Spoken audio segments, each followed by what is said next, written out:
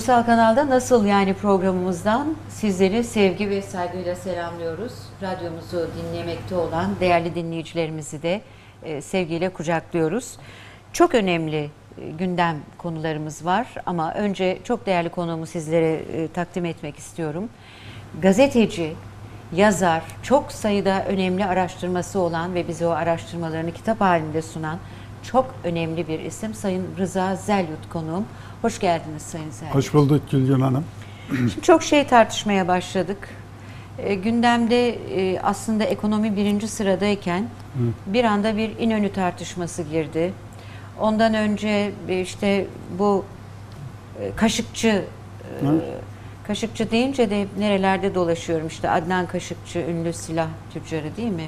Evet. Adnan Kaşıkçı, Kaşıkçı ailesi vesaire. Şimdi bir de gazeteci Cemal Kaşıkçı hadisesi çıktı. İşte e, Suud konsolosluğa girdi, çıktı, çıkamadı, ne oldu, fotoğraflar vesaire. Bir garip işler var.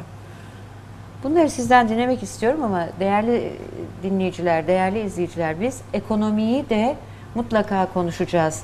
Gündemin önüne atılmak istenen hiçbir konu ekonomideki bu gidişatı örtbas etmeye yetmez. Evet. Yetemez. Ama önce bu Kaşıkçı'yla başlayalım. Evet. Kim bu Suudlar? Siz e, köşe yazılarınızda da çok güzel anlatıyorsunuz ama sizden dinleyelim. Kim bu Suudlar? Biz onların dedelerini mi asmıştık İstanbul'da? Evet, biz onların dedelerini astık 2. Mahmut zamanında 1819 Evet. yılında.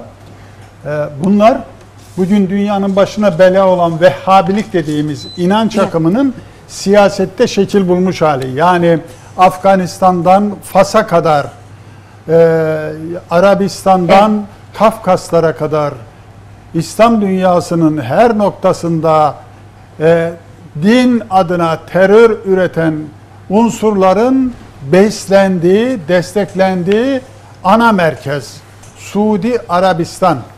Bu Suudi Arabistan aynı zamanda Osmanlı Devleti'nin yıkıcısıdır.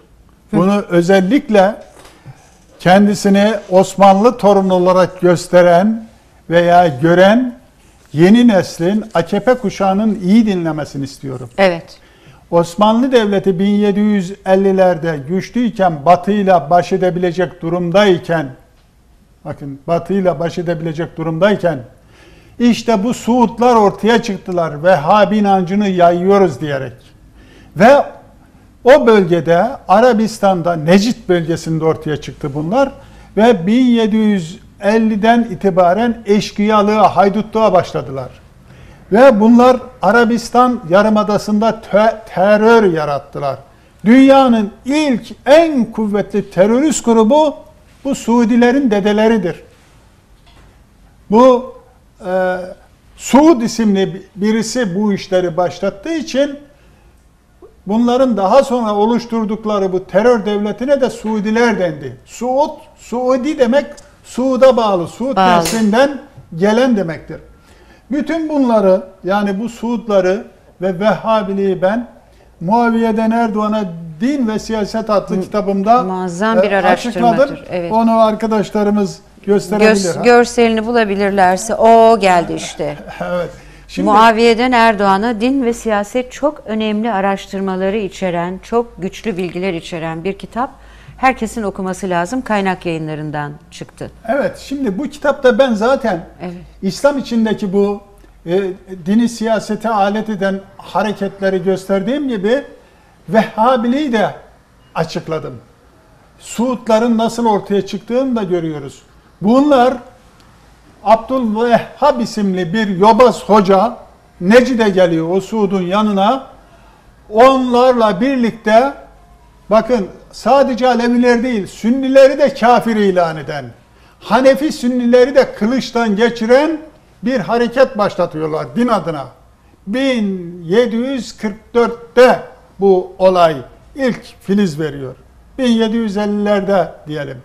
Bu eşkıyalık yapıyor adamlar. Başına topladığı şeyle Osmanlı yönetiminin elinde bulunan o şehirlere saldırılar düzenliyorlar ve yağmalıyorlar. Örneğin Mekke ve Medine'yi ele geçiriyorlar. Burada İslam ulularının bütün mezarlarını yıkıyorlar, kırıyorlar. Hatta peygamberin mezarını bile yıkmaya kalkışıyorlar. Fakat İran Şahı tehdit edince korkup bu işten vazgeçiyorlar. Vehhabileri bu Suudları anlatıyorum. Peki bu Suudlar kiminle savaştı? Kime karşı isyan etti? Osmanlı Devleti'ne. Osmanlı ordusunu defalarca arkadan vurdular. Oradaki Müslümanları Vehhabi olmayan sadece Alevileri değil, Sünnileri de kılıçtan geçirdi. Bunlar böyle bir geleneğin şeyi. Bu işleri ben çok ayrıntılı biçimde e, topladım. Bu Vehhabiliğin do- devamı da Müslüman Kardeşler Hareket olarak 1800 e, pardon 1920'lerde ortaya çıktı. Bu çok önemlidir. Suriye'nin parçalanması, Suriye üzerine Evet. saldırılmasının sebebi de sevgili izleyicilerimiz buna dikkat etsin. Suriye üzerine saldırılmasının nebe- sebebi de 2010'larda Cezayir'de, Mısır'da iktidara gelen Müslüman kardeşlerin Suriye'de de iktidara getirilmesi içindi. Bu o yazımda yok ama kitapta bunları çok ayrıntılı biçimde şey yapıyoruz. Kim istedi bunu? Zamanın Başbakanı Tayyip Erdoğan istedi. Bunlar belgeli. Suriye Dışişleri Bakanı da dedi ki biz eğer Suriye'de Müslüman kardeşlere izin verseydik bizim başımıza bu felaketler gelmeyecek, Suriye karışmayacaktı dedi. Onların da açıklaması var. Yani dönüp şeye e, Suudilere gelecek olursak Suudiler bütün bu terör hareketlerinin finansörü ve bu Amerika tarafından güdülen bir devlet. Altını Evet. özellikle çizelim. Ta- Trump ne dedi? Dedi ki biz desteklemesek siz iki hafta bile iktidarda kalamazsınız dedi. Ona e, bu Suudilerin sözde prensi de biz e, Amerika'dan 30 yıl önce devlettik dedi. Hayır yalan söylüyorsun. Orada yazı izah ettik. Siz Evet. 1744'te devlet değildiniz bir çöl hayduduydunuz kardeşim. Yani çöl hayduduydunuz siz 1744'lerde ve Osmanlı ordusunu arkadan vuruyordunuz. Ve biraz sonra İnönü bahsinde geleceğiz. Sevgili kardeşim, Yemen türküsünü yarattık ya biz. Acı Evet. acı ağıt yaktık ya Yemen'e gidenlere.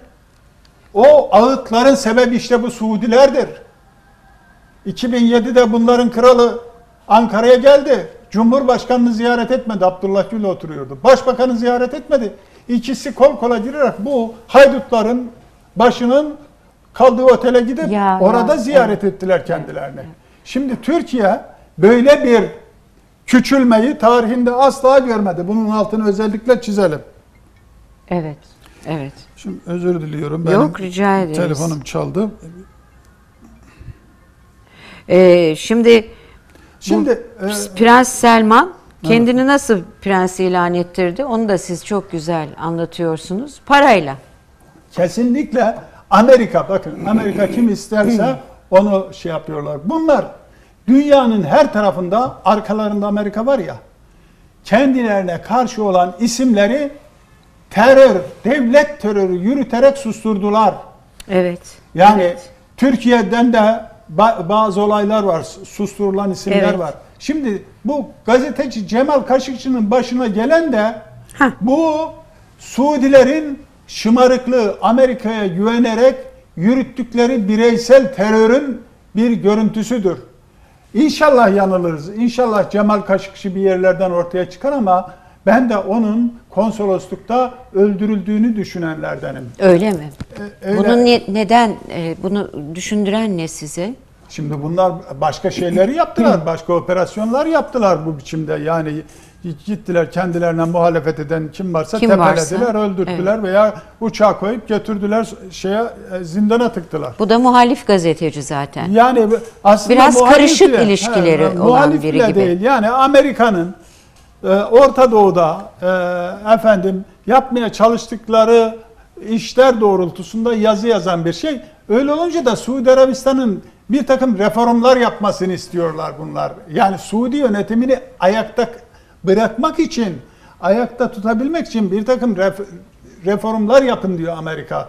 Şimdi o yönde çalışan birisi, muhalif bile değil. Ama şu anki krallık buna bile tahammül edemiyor. O kadar e, şey şımarık bu adamlar. Herkesi parayla e, satın almışlar ya.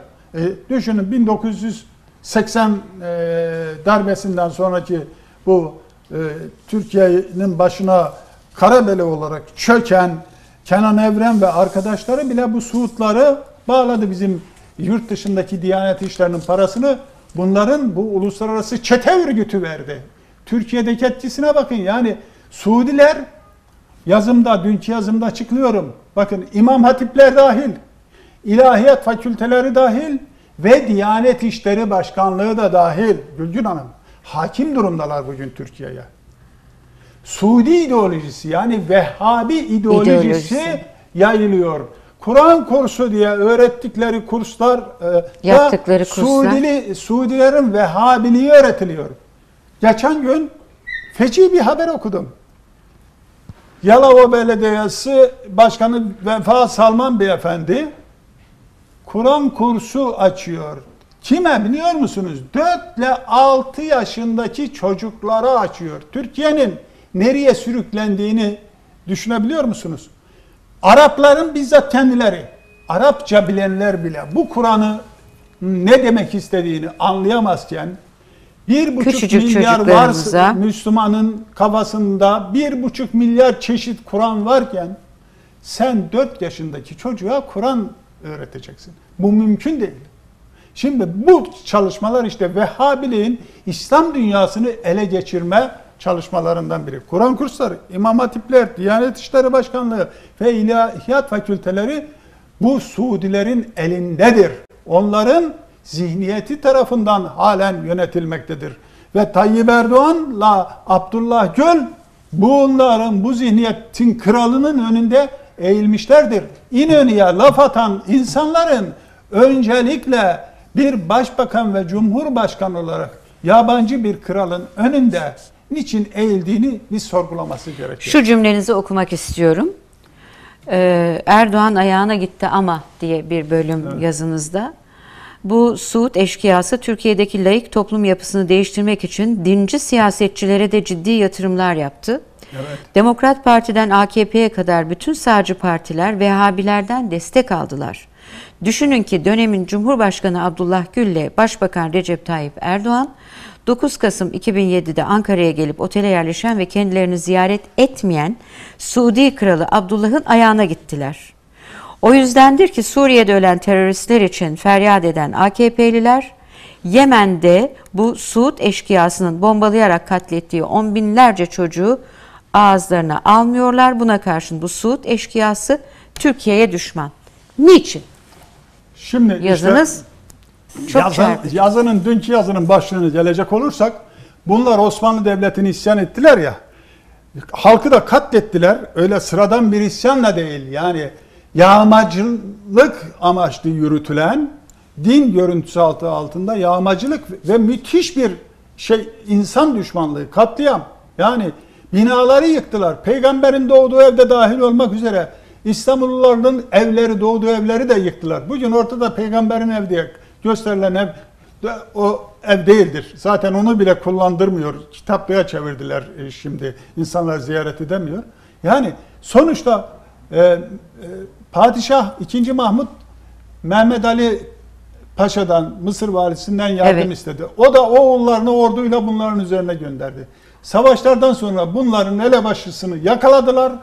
5-6 kişiyi krallar da dahil olmak üzere sözde kralla İstanbul'a getirdiler. İstanbul'da şeriat mahkemesinde bunlar yargılandı. Ve bunların küfür içinde oldukları yani kafir, Kafir oldukları, oldukları. yönünde bir fetva verilmek suretiyle idam edilmelerine karar verildi ve 1819'da Suudi kral sözde kralla adamları İstanbul'da elebaşılar idam edildiler. İşte ondan sonra bu Suudlar Türk düşman oldular. Türkiye'ye her türlü kötülüğü yaptılar. Yemen türküsü dedim atladım. Yemen türküsünü yaratan işte bu Suudlardır. Yemen'de çarpışan bunlara karşı çarpışan subaylarımızdan birisi de İsmet Paşa'dır. Paşadır. Konuşacağız onu da. Bak düşünün. Yani Yemen'de çekirge yiyerek ekmek bile bulamayıp o topraklarda Mekke ve Medine'yi de savunan e, şeydir, Türklerin kendileridir. İsmet Paşa da Yemen cephesinde savaşmış olan bir insandır. Kime karşı? Suudlara karşı. Olay bu. Yani e, Vehhabiler böyle. Bunlar Türkiye'yi de güç durumda bırakacak. Her türlü hiyanetin içinde bulunabilirler. Zaten bunların prensi. Demedi mi? Bugün Türkiye'de üç devlet, e, terörist devlet var. Türkiye, İran ve Katar. 5-6 ay önce böyle açıklama yaptı. Yani Türkiye'yi bu teröristler terörist devlet gösteriyor. Niye? Türkiye doğru bir karar almıştır. Tayyip Erdoğan'ın aldığı ender doğru kararlardan birisidir. Katar'ı destekleme kararı mesela. Ben de bunun doğru olduğunu düşünenim. Türkiye bir yerlerde bayrak gösterebilmeli. Bu gücü olmalı. Bunu yaptığı için Türkiye'yi terörist devlet ilan etti bu adamlar. Yani şimdi bir gazeteci olarak Cemal Kaşıkçı ile farklı düşünebilirim ama başına gelen bu trajedinin mutlaka çözülmesini bekliyorum. Amerika Başkanı Trump dikkat edin hep kaçak güreşiyor.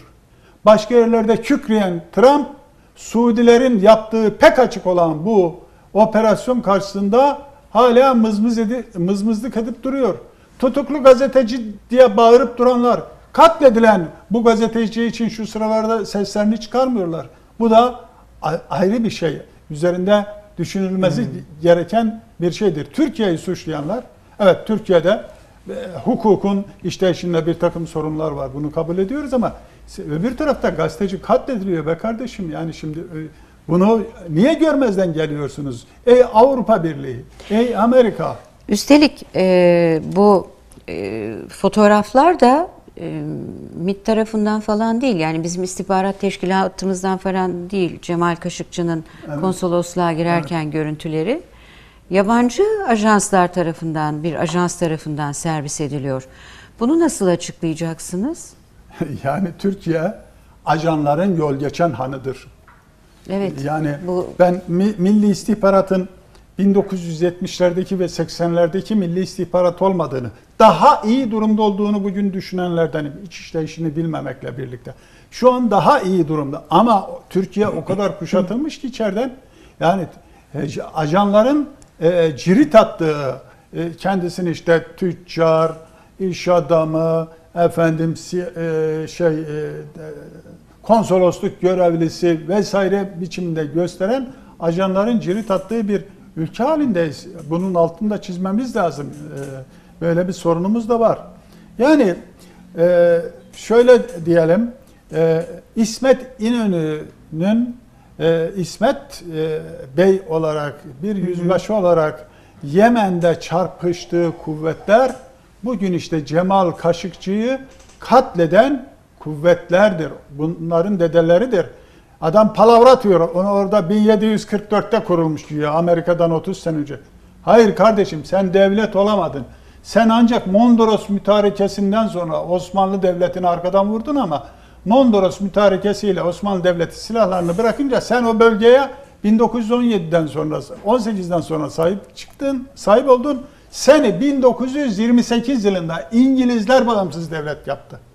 İngiliz uşağıydı Amerikan uşağı olmadan önce bu Vehhabiler.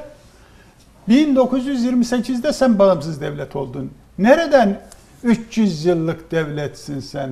Kendini öyle Amerika'dan Ama bile daha eski devlet olarak göstermeye çalışıyorsun. Yani hayatları yalan ve terör üzerine kurulmuş bir şeydir bu Suudiler. Bunun altını çizelim. Türkiye'yi de şu an Suudi Vehhabi zihniyeti yönetmektedir. Siyasi olarak olmasa bile ideolojik olarak böyledir. Buyurun e, Cumhurbaşkanı Erdoğan'ın danışmanlarına bakın. İşte iç, e, e, efendim bakan olarak atadığı isimlere bakın. İçlerinde kaç tanesi cumhuriyetçidir, layık ve bağımsız Türkiye'den yanadır? Belki ona da geleceğiz. Şimdi Evet. bazı kurullar oluşturuldu. Evet. Aydınlık gazetesi de manşet yaptı. Mesela işte Alev Alatlı var içinde. Atatürk'e hakaret edenler var. Beril Dedeoğlu gibi Beril Dedeoğlu FETÖ'nün FETÖ e, muteber yazarları var. var. Yani bu nasıl bir yapı? Sayısız isim. Bunlar maaş mı alacak aynı zamanda? Çok isim var orada. 11 bin küsür lira Adam başına. Adam başına evet maaş alacak bunlar. Biz Yazık. Sen 1600 lirayla ben 2600 lirayla şey Emekli maaşı, emekli 1600 lira. maaşımızla e, geçinmeye çalışırken onlar 11 bin lira durdukları yerden sırf resimleri orada görünüyor diye para alacaklar. Bu memleket öbür taraftan bakan sayısını azalttık diyor. 16'ya düşürüyor 26'yı ama 16 bakanın yanına 10'ar tane yardımcı danışman yerleştirmek suretiyle Türkiye'nin kasasından çıkacak parayı 10 katı artırıyor. Hantal, müthiş hantal Ne savurganlık. Peki bu kurullar var mıydı daha önce böyle kurullar? Gördünüz mü siz Hayır, işte böyle hayır. kurul- Devlet Bu- içinde devlet bu. Bu, bu nasıl bir yapı? Siz bunu nasıl değerlendirdiniz duyduğunuz zaman? Ben şaşırdım kaldım. Şimdi bakın. Yani kurullar- konuyu İsmet İnönü'ye de getireceğim.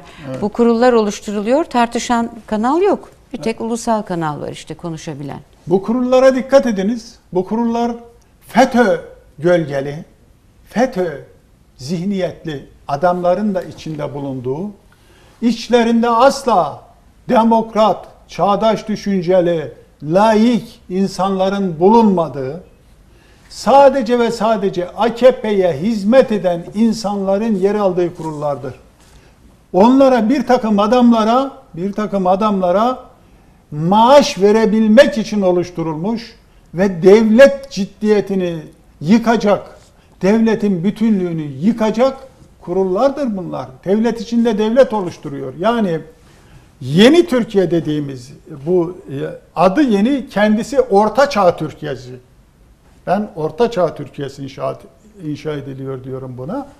Ondan sonra yeni Türkiye adı altında Orta Çağ Türkiye'sini inşa ediyor AKP ve bunu da kendi adamlarını zengin ederek halkın yüzde ellisinden azına dayanarak yüzde elliden çoğunu adam yerine koymayarak yürütmeye çalışıyor. Kurulların içerisinde sen cumhurbaşkanısın ya. Devlet başkanıyım diyorsun. Ya bu kurulların içerisinde cumhuriyetçi, Atatürkçü, Yok. dünyayı temsil eden birisi var mı? Bu kurulların içerisinde 15 milyon Alevi var bugün Türkiye'de. 15 milyon Alevi'yi temsil eden bir tane insan var mı? Yok. Orada tarikatçı zihniyeti, FETÖ'cü zihniyeti, Suudi zihniyetini temsil edecek adamlar var. Cumhuriyetle kavgalı isimler var. Evet. Yani layık Türkiye Cumhuriyeti ile Evet. kavgalı isimler var listeye bakınca. Ama Atatürkçü, yurtsever, milliyetçi kimse yok. Ben bu e, e, e, eski başbakan Binali Yıldırım zamanında bir soru sordum bir gün Aydınlık Gazetesi'ndeki köşemde. Bu bakanlar kurulunda hiç Türk bakan var mı? Ben varım diyen birisi çıkarsa lütfen bildirsin onun adını buradan duyuracağım ve teşekkür edeceğim kendisine diye. Bu soruyu sordum. Kimse ağzını açıp ben Türk'üm diyemedi. Bugün soruyorum. Erdoğan'ın kurullarında ben Türk'üm arkadaş diyen birisi var mı? Çıkamayacaktır. Ey Devlet Bahçeli. Ey AKP'nin Balgat bürosu. Soruyorum, soruyorum sizlere. Bu kurulların içerisinde Türk milliyetçisi var mı? Bu millet Türk milleti diyoruz. Bu kimliği temsil eden, ben Türk'üm diye temsil eden birisi var mı? O da yok. Kim var? Dinci siyasetin figüranlarını alıyor, onlarla bir yapı oluşturuyor. Bu yapı gericiliği besleyen, AKP'yi besleyen bir yapıdır. Yüzde 50'den fazlasını halkın temsil etmiyor, azınlığı temsil ediyor. Yani bu hale geldik ve tam da bu noktada işte tutuyor. Bu hatalarını gizleyebilmek için bu devleti kurmuş liderlerden birisi olan İsmet İnönü'ye saldırıyor. Yani hem kel hem fodul, Fodul. diye buna denir. Ne yapıyor? Efendim e, e, Sayın İnönü'nün e, 1963 yılında Amerikan Başkan Yardımcısını Ankara'da karşılarken eline aldığı Türk ve Amerikan bayrakları üzerinden ve çok ayıp bir biçimde Türk bayrağının üstünü örterek Amerikan bayrağını göstererek Sayın İsmet İnönü'yü Amerikancı göstermeye çalışıyor. O İnönü ki Birinci Dünya Savaşı'nda cephelerde savaşmış, Kurtuluş Savaşı'nda cephelerde savaşmış, canını o bayrak için ortaya koymuş, ona saldırıyor. Şimdi o bayrağı bir görelim arkadaşlar. Şu Görelim. iki, iki numaralı e, bayrağı, e, fotoğrafı rica ediyorum. Ben size bir şey soracağım. Dursun bu fotoğraf. Şimdi Sayın Erdoğan öyle pek tarih okumuyor, Evet. kitap okumuyor. Benim vaktim yok zaten bana özet getiriyorlar diyor. Şimdi kendini bütün sistemin e, üstüne çıkardı. Tek adam haline dönüştü. Zaten yasaları imzalamaktan, onları okumaktan filan e, Erdoğan'ın bunları okumak gibi bir vakti yok. Bunu eline birileri tutuşturmuş. Asıl dönüp onun canını yakması lazım değil mi? Bana bunu verdin, beni kandırdın diye. Ben de tuttum diye. Hani ben bunu e, şeytanın avukatlığını yaparak söylüyorum. Valla e, yapılması gereken o. Ama Tayyip Bey'in çevresindeki danışmanların Alayı kültür yoksul cahil. olduğunu başka gaflardan da e, biliyoruz. Mehmet Akif'in şiirini bile ortada Sabahat diye di- divanı var. Onun şiirini bile e, şey doğru düzgün okuyamıyorlar. Meşhur Eşek ve Semer e, hikayesi vardır.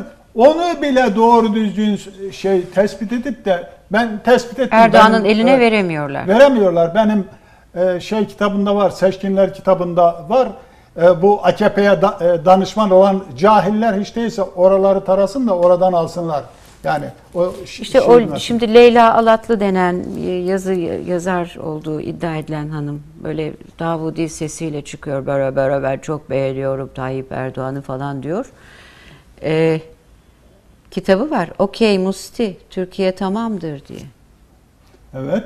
Ya bunlar bakınız bunlar Amerikan emperyalizminin Türkiye içerisinde Şu anda paralı uşakları artık. Girdikleri Kul- kurulla birlikte. Kullandığı, kullandığı elemanlardır. Tayyip Erdoğan iktidara getiren Birleşik Amerika'dır. Onu destekleyen liberal dediğimiz adamlar da bu işte görevlendirilmişlerdir. Hasan Cemal boşuna okşamadı Tayyip Erdoğan başbakanken yanağını. Şimdi güya düşman gibi duruyor ama aynı cephenin Amerikan İşte cephesinin Mehmet Barlas da yaptı görevlendirdiği, görevlendirdiği elemanlardır bunlar. Bunların içerisinde sahte yazarlar, sözde romancılar, hatta Nobel almış tipler bile vardır. İntihal yapanlar yani Hırsız- edebiyat hırsızları, Evet. bir emek hırsızları hepsi var. Şimdi tabii o ayrı bir şey.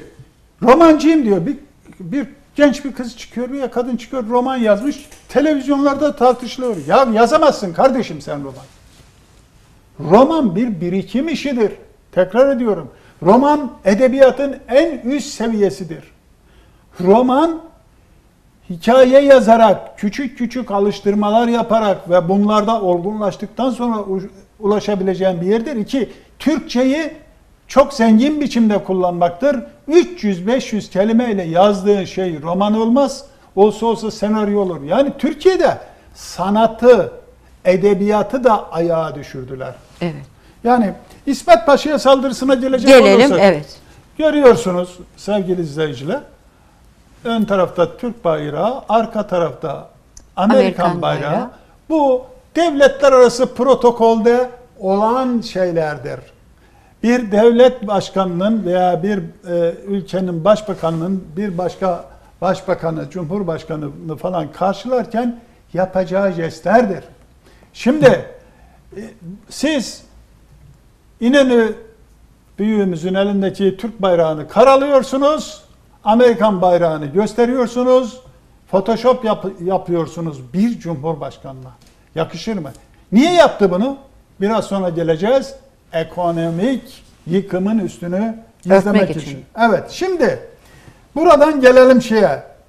Üç numaralı bir fotoğrafımız var arkadaşlar. Lozan'da, İsmet İnönü Lozan'da. O da bugünkü yazımın konusu. İşte evet. Şimdi burada görüyorsunuz ki aldığımız fotoğrafta bir otomobil ve önünde Türk bayrağı vardır. Bunun bir hikayesi var. Ben bugün bunu anlattım. Ee, kaynağını da gösterdik. Uy- uyduruk değil. Bunu AKP'liler, Osmanlı torunları iyi dinlesin. 1923 yılının 10 Mayıs'ında İsmet Paşa Lozan'dadır. Meşhur barış görüşmelerini yürüten heyetin başıdır. O sırada Ermeni teröristler Türk diplomatları katletmektedir. Biliyorsunuz işte bu Enver Talat ve Evet. e, e, efendim diğer e, İttihat ve Terakki yöneticileri e, katledilmişlerdir bu teröristler tarafından. İsviçre polisine bir ihbar geliyor. Diyor kiler ki e, Ermeniler, Ermeni militanlar İsmet Paşa'yı vuracaklar. Bunun üzerine Lozan Polis Müdürü İsmet Paşa'nın yanına gidiyor. Diyor ki paşam diyor böyle böyle bir ihbar aldık. Sizi korumak için sizin arabanızı gizlememiz sizin hangi arabaya bindiğinizi bizim saklamamız lazım. Onun için diyor arabanızın önündeki takılı olan Türk bayrağını indirelim diyor. Şimdi hayat tehlikede olan İsmet Paşa'nın verdiği bu cevabı herkesin iyi dinlemesini istiyorum. Diyor ki o bayrak inmez. O bayrağı ben indirmem. Eğer o bayrak nedeniyle beni vururlarsa buraya başka bir diplomat gelir. Türk diplomatı o bayrak yine inmez. Onu da vururlarsa başka birisi gelir. O Türk bayrağı yine inmez. Bin tanesini vururlarsa bin tane diplomat gelir. Ve o bayrak inmez oradan diyor. Yerinde kalacak. Ve o bayrak orada kalıyor, indirilmiyor. Bunun altını çizelim. Şimdi Lozan'daki İsmet İnönü'yü de bir görelim. Arkadaşlar bu da bir numaralı fotoğrafımız. Lozan'daki İsmet İnönü. Şimdi bugün dünya lideri havalarıyla birileri, birilerini övüyor ya. Şu fotoğrafa bakın. Bu bir, bu bir Fransız karikatüristin 1923 yılında Lozan Anlaşması'nın imza törenini gösterdiği fotoğraftır. Ama İsmet İnönü'yü nasıl çizmiş? Evet. Sağlı sollu diğerlerini nasıl çizmiş? O çok dikkat edilmesi gereken bir e, kare. İşte o bir bakın bir Fra- iki Fransız karikatüristinin eseri. Bu Türklerin e, çizdiği bir karikatür değil. Değil. Yani para vererek e, yurt dışında imal edilmiş bir karikatür değil bu arkadaşlar.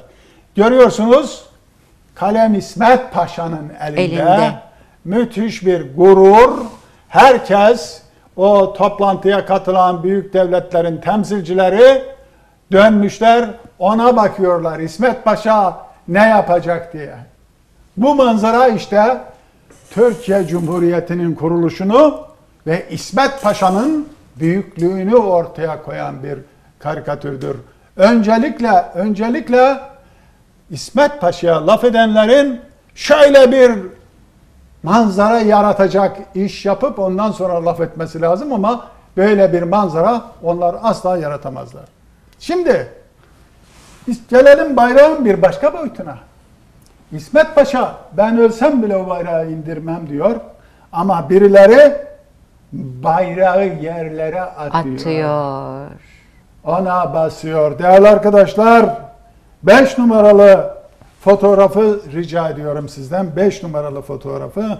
Ya Buyurunuz. bir mitingden. Buyurunuz.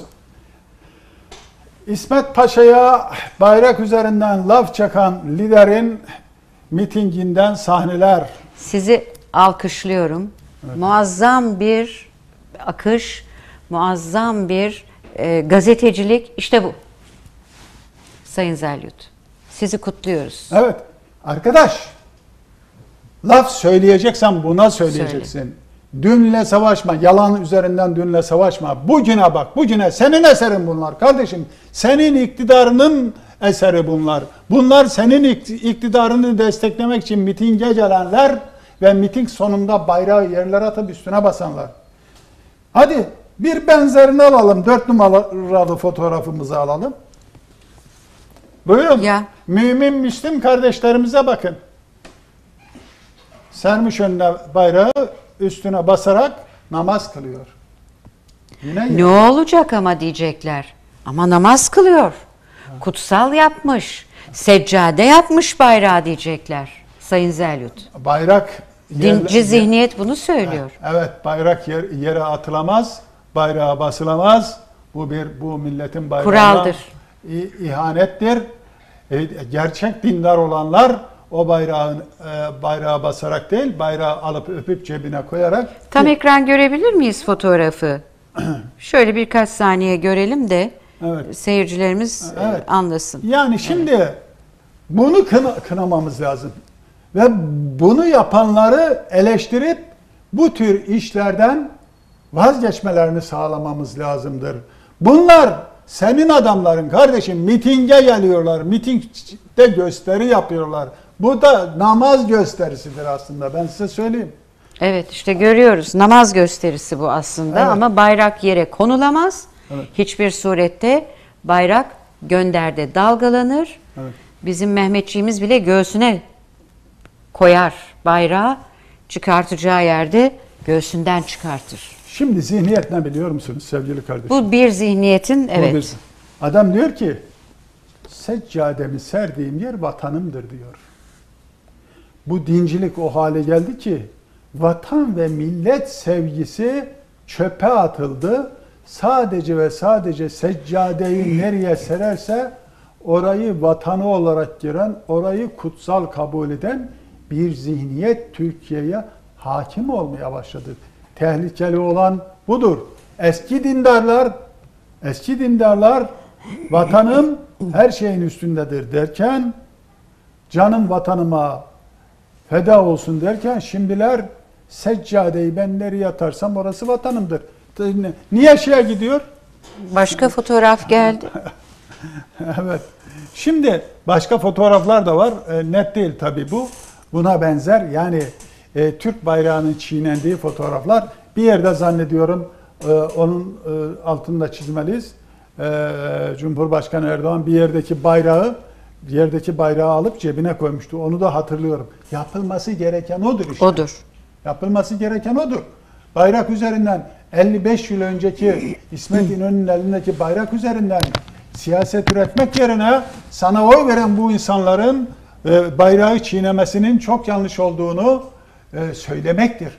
Bunu söylersen o zaman ben sana saygı duyarım. Bunu söylemeden Photoshop yaparak İsmet İnönü'ye saldırırsan bu ayıptır. Yemen'de, Yemen'de çarpışan, Yemen'de düşman kuvvetleriyle hayatını e, efendim tehlikeye atarak çarpışan, Batı cephesi komutanı olarak Yunanlılarla boğuşan ve 1925'te Şeyh Said İsyan'ın zamanın PKK'sı olan PKK elebaşısı Şeyh Said'i tepeleyip onu Diyarbakır'da astıran İsmet İnönü'ye laf söyleme hakkın yok. Ha, İsmet Paşa'nın politik olarak 1946'dan sonra yaptığı bazı yanlışlar vardı. Ben buna ben de kitabımda bu kitapta onları eleştirdim. Yani sağa açılan, Amerika'ya açılan bir şey vardır. Ama İsmet Paşa'nın yaptığını senin övdüğün Adnan Menderes fersah fersah açtı. Tamam mı? Bir e, Kore'ye asker yolladı. E, 1500'den fazla askerimizin orada şehit olmasına sebep oldu. Bizi NATO'ya soktu. Ondan sonra küçük Amerika yapacağım dedi. Amerikan bayrağını onlar göklere çıkardılar. İsmet İnönü değil. Demokrat Parti zamanında göklere çıktı. Senin örnek aldığın özel Amerikan e, e, e, tişörtü, özel adamlara Amerikan tişörtü giydiler. E, CHP'liler Amerikan tişörtüyle ortalıkta dolaşmadı. Hele Vatan Partililer şunlar bunlar e, o Amerikan bayraklarını yaktılar. Sen vatan seversen 2003'ün e, 4 Temmuz'unda e, Süleymaniye'de askerimizin başına çuval geçirildiğinde ortaya çıkıp Amerika'ya kafa tutacaktın. NATO vermeye e, nota vermeyecek misiniz Amerika'ya Ya. diyenlere ne dediler? Ne notası? Müzik notası mı dediler değil mi? Ha, Şimdi de kalkmış Amerika'ya güya kafa tutuyorsun. Kardeşim Amerika'ya kafa tut- tutuyorsan incirliği kapat. Hadi bir kapat da göreyim ya. Terör üretim merkezi. PKK'yı koruyan e, şey Amerikan uçakları oradan Amerikan e, haberleşme araçları oradan faydalanıyor. Daha kötüsü. Ajanlar cirit atıyor, iniyorlar, çıkıyorlar değil mi? Daha kötüsü Evet. Malatya civarına yerleştirdiğin sen radarlarla İran'ı gözetliyor, Rusya'yı gözetliyor, İsrail'e bilgi aktarıyorsun halen. Ve Suriye ayakları altına alınıyor. Bir ara vereceğiz Sayın Zelyut. Yani iyi ki geldiniz. Ee, Twitter'dan da takip ediyorum. Çok büyük bir ilgi var. Çok teşekkürler ilginize. Devam edeceğiz Sayın Zelyut'la konuşmaya. Lütfen Ulusal Radyo ve Ulusal Kanal'dan ayrılmayın.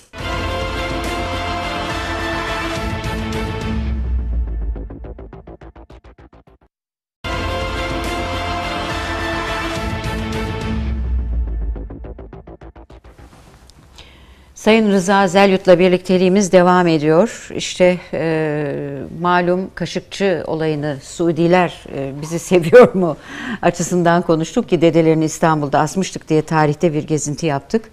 E, ardından İnönü'nün e, elinde tuttuğu bayrak üzerinden e, yaratılmak istenen e, hava ve tabii aslında bütün bunların gündem değiştirme gayreti, e, saldırıyla... E, en iyi savunma hücumdur e, gayreti olduğunu görüyoruz. E, bunlar yazık e, yani Türkiye'ye yakışmıyor, Türkiye'yi yönetenlere hiç yakışmıyor. Yani Sayın devlet Zerlet. adamlarının bir ciddiyeti vardır. Devlet adamları eleştirebilirler. Eleştirirken de bunu bilgiye ve belgeye dayandırmaları gerekir. Böyle olursa beğenmesek bile deriz ki kendi fikrini söyledi ve doğru söyledi deriz. Ama e, özellikle Sayın Erdoğan'ın meydanlarda ortaya çıkarak ortaya attığı bu tür uç iddiaların hemen hemen tümünün bilgiye ve belgeye dayanmadığı, sadece ve sadece cumhuriyetçileri, e, cumhuriyetin temel değerlerini ve Evet. bu cumhuriyeti kuranları karalamaya yönelik olduğunu görüyoruz. Cami işi de bunla- bunlardan beri. Yok işte CHP döneminde camiler ahır yapılmış, yıkılmış falan. Bu kuyruklu bir yalandır. Benim tespitlerime göre Türkiye'de İstanbul'da cami yıkan isim iki isim, e, iki parti var öyle söyleyelim. Evet. Birincisi Demokrat Partisi'dir. İkincisi de Adalet ve Kalkınması yani AK Parti'dir.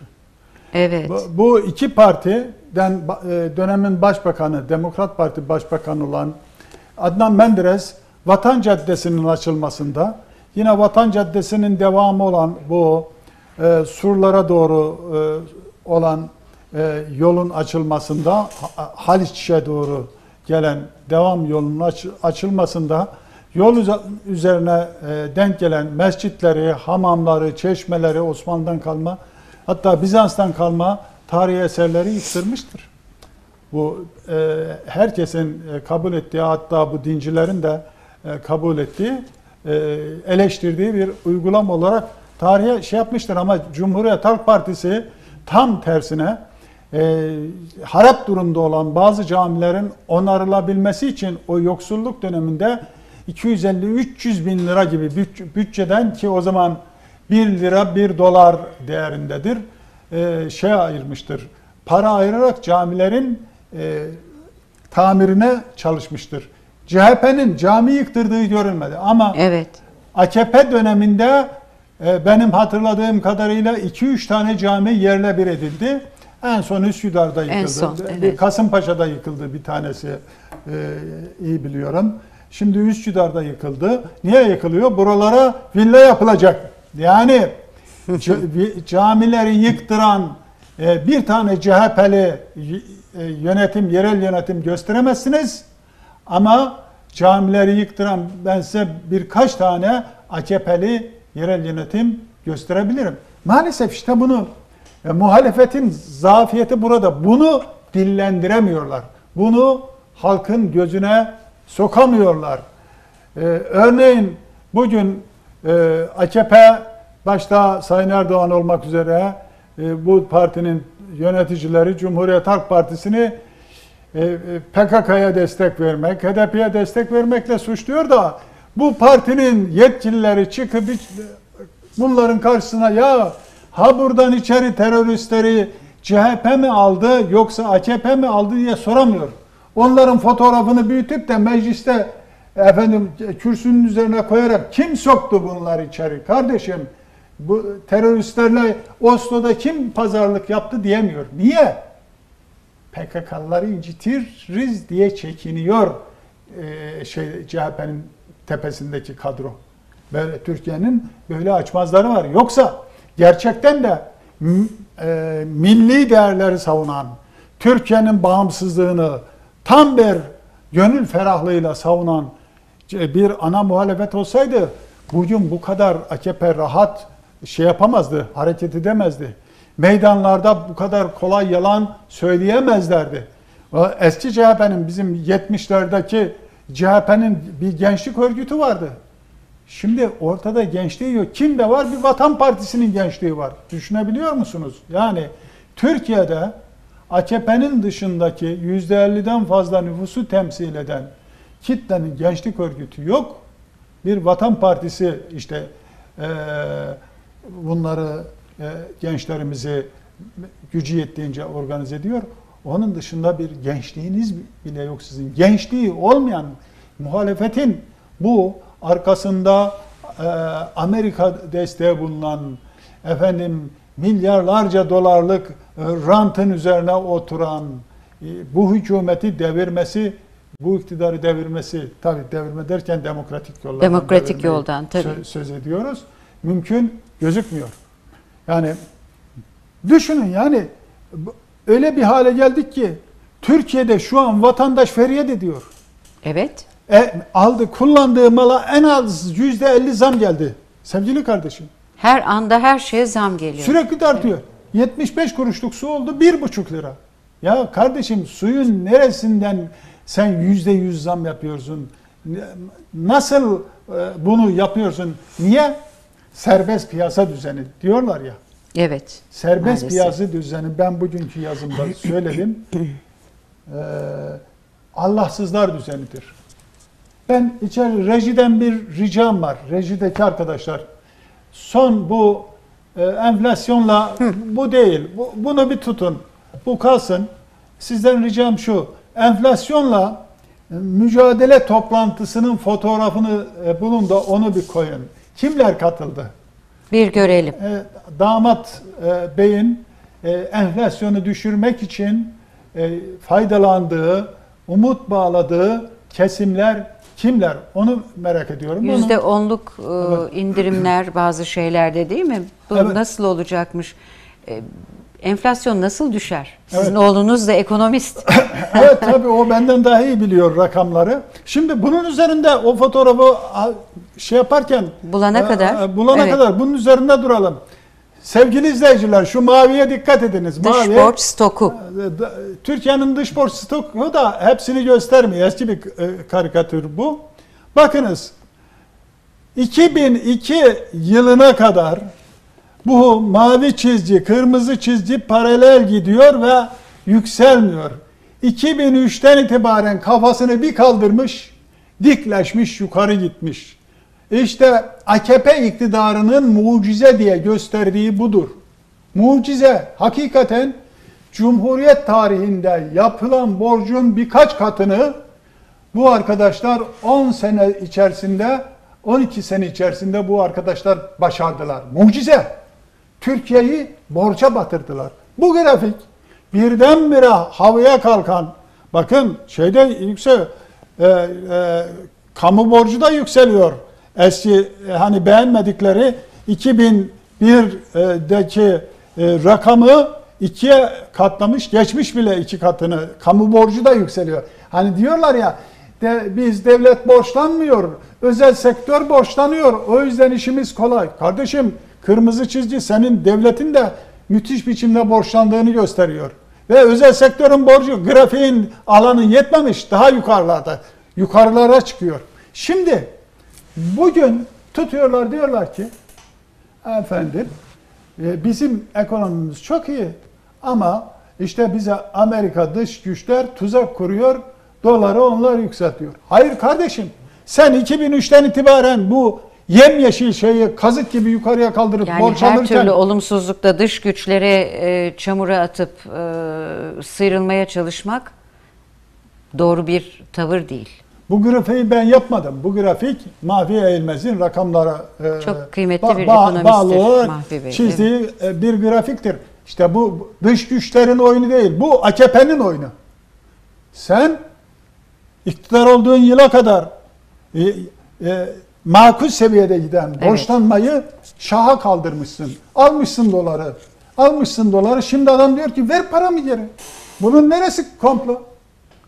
Ver paramı kardeşim benden pa- ba- 470 milyar dolar para aldım. Paramı geri ver diyor. Hiç değilse bir kısmını ver bana geri vereceksin param deyince vay sen komplocusun. Siz bize komplo kuruyorsunuz. Türkiye'ye ekonomiye komployu kuran işte bu grafiğinde gösterdiği gibi AKP'nin serbest piyasacı, bu borçlanmacı, bu politikasıdır. Yani çok bilinen bir şey. Ben birisini şey yapayım, örnek vereyim size. Yunanistan'dan 2008'de 2009'da pamuk ithal etmeye başladık. Bu netleştirin biraz bu fotoğraf şey değil bu. O kişinin değil katılanların fotoğrafını bulun Ee, arkadaşlar. Bülent Eczacıbaşı var değil mi? Evet, evet. Ee, katılanlar- İş dünyasının isim önemli O- isimleri oturuma var, tanıdık isimler Ha, var. Lütfen oturuma katılanların fotoğrafını bulun da koyun Evet. oraya. Yani e, damat bey değil. Bir de işte enflasyonla topyekun Hmm. mücadele böyle bir logo olacakmış değil mi? Her şeyin üzerinde falan. Yani Hayır, biraz o- garip bir tablo. Hayır onu o logoları e, zemzem suyuna batırsınlar. Benim tavsiyem zemzem suyuna Bu da batırsınlar. değil. E, bunlar, bu- bunlar bile değil. Bunlar e, şey Oturanlar var. oturanlar. Ee, Bunlar, Damat Bey konuşuyor. Ekonomi bunlar Bakanı bile ülkeyi de- yöneten, ekonomimizi yöneten heyet. Çalışma Yönetemeyen Bakanı- desek daha mı iyi Evet, olur acaba? Ülkeyi yönet, yönetemeyen e, heyeti burada görüyorsunuz. Ondan sonra şimdi O fotoğraf e, bulunur. Se- Serbest piyasa. Şimdi serbest e, neyi kurdu bu? Türkiye'yi deminki grafikte gösterdik. E, asıl borçlu hale getiren neydi? Özel sektördü. Özel sektöre sen teşvikte bulunuyorsun. Al al diyorsun. Alıyor, borçlanıyor. Şimdi devlet bu bunalımı, bu hayat pahalılığını çözebilmek için yine özel sektörü topluyor.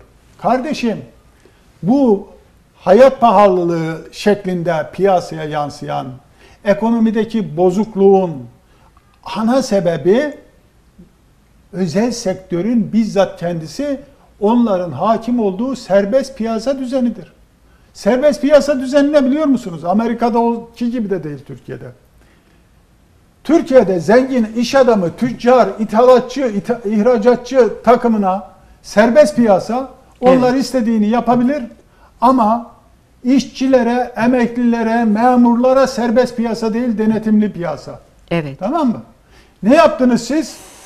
Havaalanı inşaatında köle haline getirdiğiniz işçiler insanca yaşamak talebinde bulununca üstüne polisleri saldınız. Evet. Fatih Altaylı gibi yandaş yazarlarınızı da kullanarak o insanları aşağıladınız, kötülediniz. Serbest piyasa emekçiye çalışmıyor.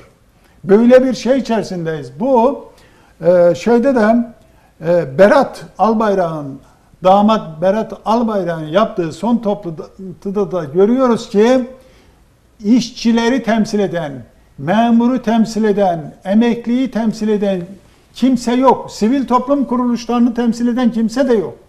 Kim var?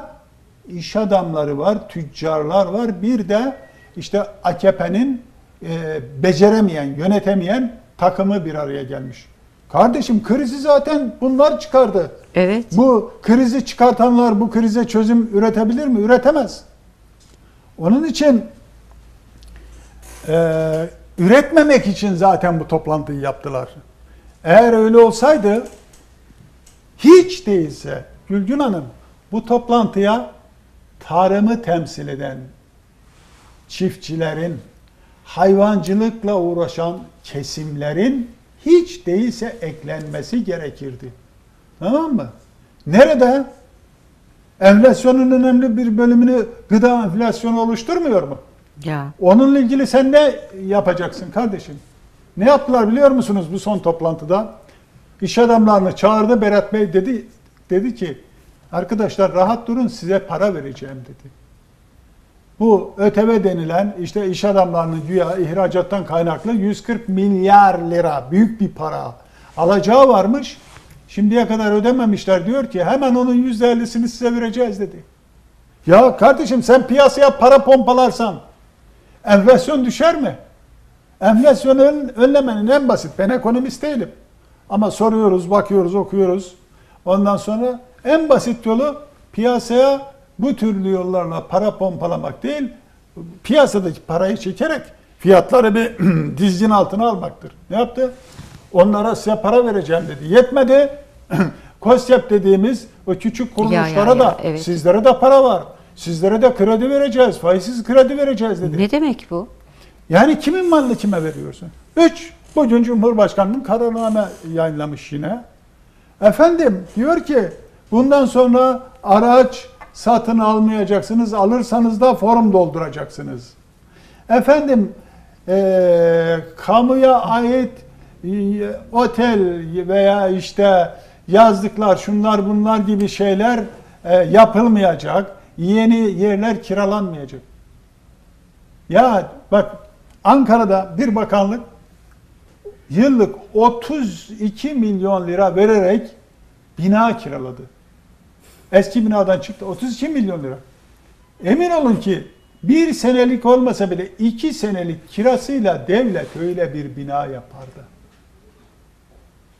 Bütün devlet devleti küçültüyoruz adı altında Gülgün Hanım bunlar devleti batırdılar.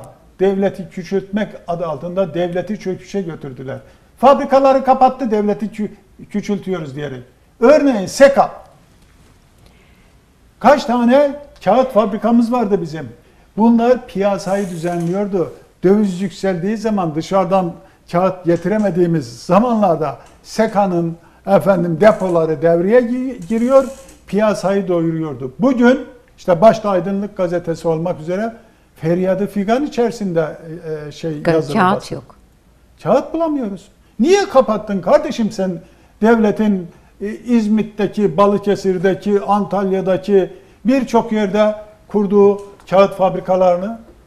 Parambol ya dışarıdan borç alıyorsun. O borç dolarla gidip hazır kağıt getiriyorsun sen İsviç, İsveç'ten, Norveç'ten, şuradan buradan. Zavallı vatandaş yahu bu özelleştirmeler doğru bir şey değil dedikçe anlamıyor çünkü. Evet. 200-300 kelimeyle konuşan bu insanımız artık anlamıyor hiçbir şeyi. Cahil bırakmaktan zevk alıyor bunlar. Ee, ama ama olsun satsınlar. Dış borçlarımız varmış onlar kapanıyor diyor Sayın Zelyut. İşte dış borç kapanmadı. Aksine- AKP zamanında Cumhuriyet tarihinin o e, şey yeni Türkiye, büyük Türkiye diye şişinenlerin e, bilmesini istediğimiz rakam dış borçlar Cumhuriyet tarihinde yapılan 80 yıllık Cumhuriyet boyunca yapılan borçların çok daha fazlasını bu AKP yaptı. Dış borç kapanmadı. Evet. Sen şey dışarıdan aldığın parayla IMF'nin borcunu kapattın ama IMF'den çok daha kötü şartlarla para alarak yaptın bunu. Bakınız IMF'ye biz her zaman karşıyız. IMF'den para alınmasını istemeyiz. Ama bugün AKP IMF şartlarında para bulmaya çalışıyor. Kimse bu hükümete para vermiyor. Dünyada dolar aldığınız zaman dışarıdan bir piyasası var.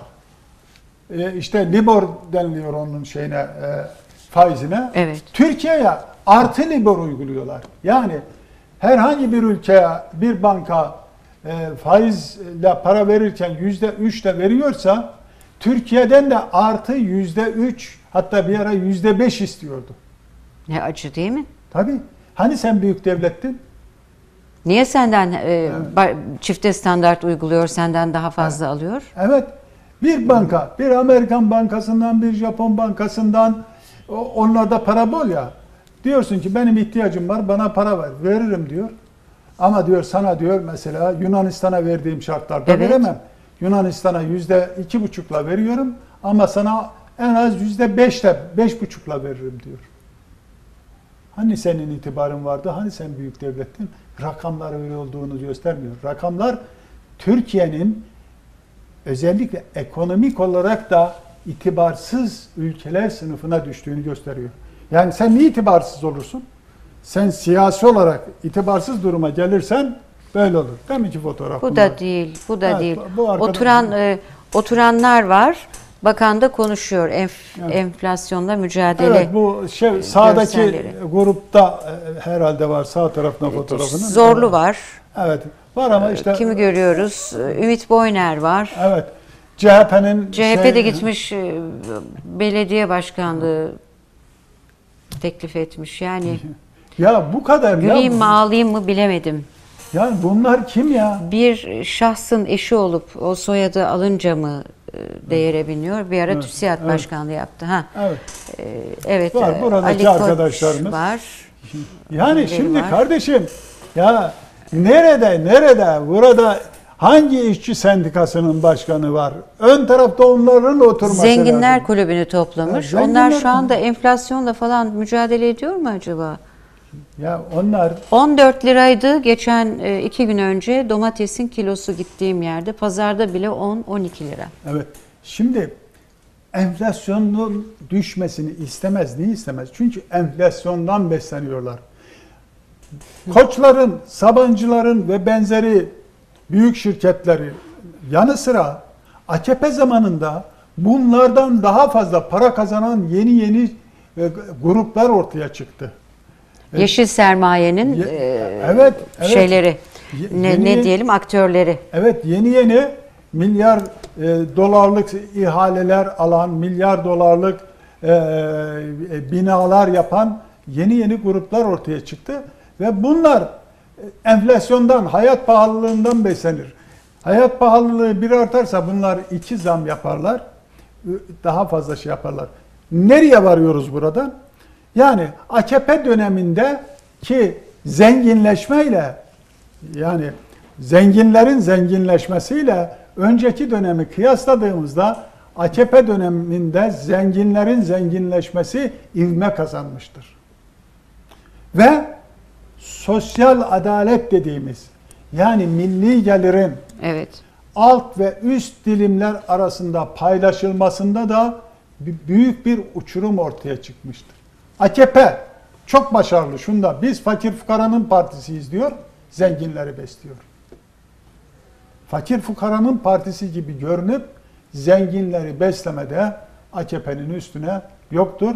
Maalesef muhalefet bunu görüp bunun üzerinden yoksullara dokunmak yerine yok muhtar kentmiş, yok neydi de, demin ki hanımefendi Ümit Boyner, Ümit Boyner'miş.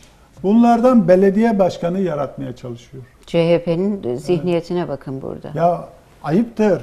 Eğer bunu CHP'nin e, genel merkezinde o toplantıda, parti meclis toplantısında bu isimleri birileri telaffuz ettiyse bunlar şeyin Truva atıdır ya. Amerika'nın Truva atıdır. CHP'den ilk kovulması gereken adamlar bunlardır. Parti içinden çıkartın. Ağzı laf yapan, vatandaşlar çok karşılığı olan isimleri bulun ya. Bu partiye emek vermiş insanları bulun. Anlatabiliyor muyum? Yani benim ilgim yok. Yani CHP'ye Evet, evet, akıl biliyorum. verecek durumda değilim ama bir de bu AKP'yi e, hiç değilse yerel yönetimlerde e, mağlup edebilmek için ona göre insanlar seçin. Bir şey anlatayım CHP'lilerle ilgili. Mesela İstanbul'daki CHP'li belediye başkanlarını imar konusunda başarılı bulurum. İşte temizlik, imar, çevre düzenlemesi vesaire başarılı bulurum. AKP'lilerse bu konuda başarısızdır. CHP'li belediyeler örneğin ben Bakırköy Belediyesi'ni komşu Bahçelievler'den bin kat daha başarılı bulurum. Yani Doktor Kerimoğlu orada güzel işler yaptı. Benim oturduğum Sarıyer civarında da yine koşturuyor, moşturuyor şey belediye. Son iki dakikamızmış Evet. bu arada. Ama Evet. şu eksik. Mesela şunu göremedik bu imar işinde başarılı olan belediyelerde. Ya siz Mustafa Kemal'in partisiniz. Mustafa Kemal düşüncesini mahallelere yayacak ne yaptınız? Mustafa Armağan denilen Atatürk düşmanlığı Bahçelievler Belediyesi başta olmak üzere çağırtıyor, insanları topluyor, onlara konuşturuyor. Ya sen, sen kardeşim e, kimi getirdin? Yani Atatürkçü yazarlarımız var bizim. Çok değerli yazarlarımız var. Onlardan faydalandınız mı? Halkla onları buluşturdunuz mu? Yok. Yani bu yönü CHP'nin eksik. ideolojik yönü eksik. O yüzden seçmen küstü. Seçmeni küstürmeyen adaylara yönelmelerini öneriyorum. Çünkü Türkiye'nin Evet. aydınlık geleceğini yakalamak Atatürk'ün partisinin görevidir. Bu mevcut kadrolarla bazı isimlerle bir yere gitmesi mümkün değil. İşte onların yapamadığını TGB yapıyor. Evet. Amerikalıların başına geçiriverdiler çorabı, e, şeyi, çuvalı. Ee, e, bu Mustafa Armağan denen ahlaksız hala dergisini çıkarıyor. Atatürk'e düşman, bu ülkenin değerlerine düşman, vatanına ihanet eden bir adam. Kurucumuz, kurucu Onlar değerleri de- ak FETÖ'cü. Onlara bir şey olmaz. Ak Aa, FETÖ'cü. Ya. Ak Ondan FETÖ'cü. sonra ne yaptı? TGB okullarda bir eyleme geçti. Bütün konferansları iptal ettirdi. Evet, işte öyle böyle gençlik lazım. Ee, mesela e, ana muhalefet partisi eğer şunu da söyleyerek bitireyim sözlerimi. Eğer bu HDP ile işbirliği görüntüsünü verirse İstanbul'da dahil hiçbir büyük şehirde şansının olduğunu zannetmiyorum. Ondan kaçınması lazım.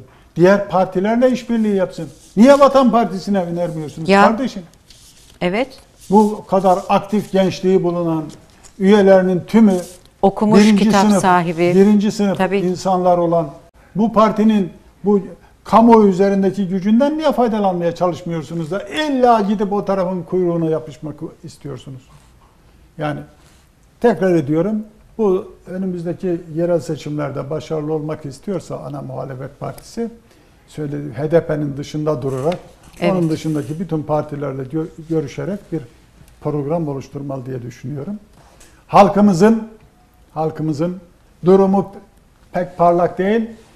Gülgün kardeşim ileriki aylarda bu günleri bile arar duruma geleceğiz diye korkuyorum. Ekonomistler bunu e, yüksek sesle dillendiriyor ama yandaş kanallarda çok eğlenceli. Açın haber kanallarını. Tamamı. Evet. E, Türkiye çok iyi, güllük gülistanlık, idareciler de çok iyi. Bakan muazzam önlemler alıyor. Bakamayan bakanlar muazzam önlemler alıyor. Çünkü onların elinde bir şey yok. İmza yetkisi e, Cumhurbaşkanı'nda, Erdoğan'da, Sayın Erdoğan'a da saygılar sunalım. Türkiye'yi yönetmek çok önemli bir iştir. Tarih karşısında sorumludur. Yarın Türk tarihi, kendi tarihlerini yazmak istiyorlar. E, kendisini e, iyi ansın istiyorsa doğru işler yapmalıdır. Değil mi? Evet, evet. Yani ben e, şunun altını çizeyim. McKinsey gibi Amerikan Abuk sabuk. şirketlerinin eteğine yapışarak Türkiye'yi bu ekonomik bunalımdan çıkarmak mümkün değildir.